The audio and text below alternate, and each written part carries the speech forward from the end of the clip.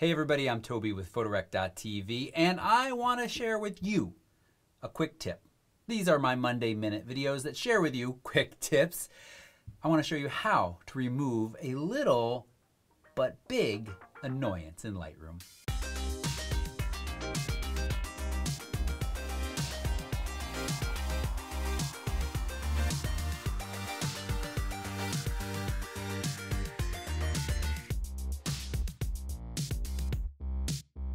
Before we jump in, I'm just going to remind you, you can find hours long training on Lightroom completely free at photorec.tv slash Lightroom.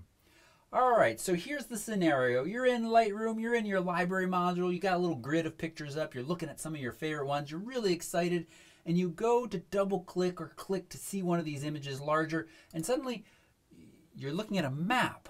Wait a second, you wanted to see your elephant in large, big, not, not the map, what, what happened here? And I get these emails a couple times a month asking different Lightroom questions. And this one comes in often enough that I know I'm not the only one to have experienced this frustration. These little badges right here in the grid view are actually clickable. And if you're not paying attention when you go to click on the image and you accidentally click on the badge, you might find yourself in a completely different spot than you wanted. Here I am all of a sudden in the crop tool because I clicked on the crop badge. The badge that brought up the map, of course, was the little pin that let you know that you were in the map. Now let me show you how to fix this. It's quite easy. Lightroom Preferences. Once you're in the Preferences panel, you want to move over to the interface. It's right in the middle of all of your tabs across the top. And right here, you want to make sure that you have Ignore Clicks on Badges make sure there is a check mark and ignore clicks on badges. And now, when you click those badges, nothing should happen. Badges? We ain't got no badges. We don't need no badges. While we're in here, let me show you a couple other things real quick that you can do. Well, one, you can further customize these end panels. I showed you that in the previous video the other day. I'll link to that along with all of my other Monday minutes right down below but you can have a small flourish. What's a flourish, you ask? It's this little flourish right down here. Uh, I just have those off, nice, clean. You can have a larger or smaller font if you want there on these panels. And then lights out, screen color. You have a choice from black to white. I'll show you how to get into that in just a minute. And the dim level of 80% by default.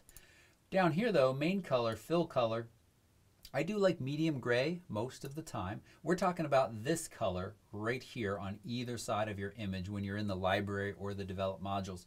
If you've got a second monitor plugged in, you can have a different color surrounding your images. Well, why what's important about this color? Well, it really lets you, let's say you're doing a nice black and white image and you really want to tell whether or not you have your whites nailed or they're kind of a dingy gray. Like I've got room here. I'd love to see these a little bit brighter and consequently, and the reverse, going to black, allows you to really kind of judge your black points and see have you nailed those as nicely as you should.